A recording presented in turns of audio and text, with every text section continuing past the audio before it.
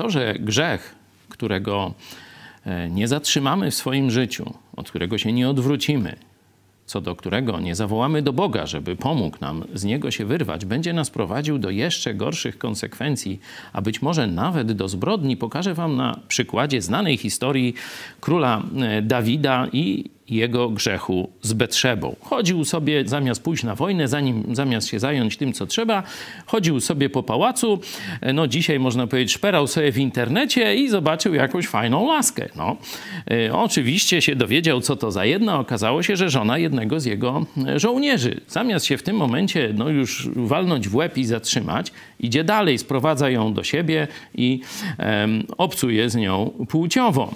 E, no, wiecie, czyny mają konsekwencje no ta kobieta poczęła.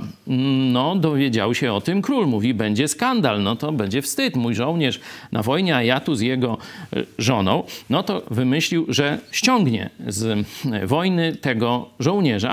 No i on tam pójdzie do domu, będzie se z żoną też współżył, no i wtedy wyjdzie, że to dziecko tego żołnierza. Żołnierz przyszedł, Uriasz, melduje jak tam sytuacja na wojnie, no to mówi, dobra, no to już idź teraz do domu, e, prześpij się i tak dalej. A co robi Uriasz?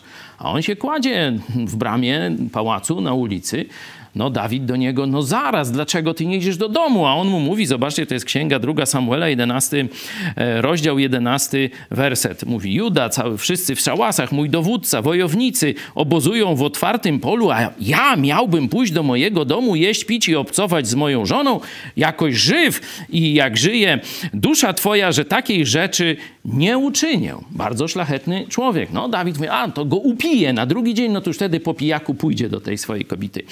No, upił tego Uriasza, a ten dalej z powrotem i tak dalej, i tak dalej. No nic się nie dało. Wtedy Dawid decyduje się na zbrodnię.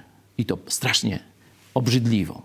Wysyła list do dowódcy wojsk, żeby tego dzielnego, szlachetnego człowieka wystawić na najgorszy odcinek frontu, a potem odstąpić, żeby zginął. Tak się też dzieje.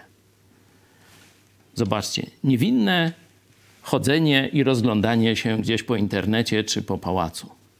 Zobaczcie, do czego doprowadziło.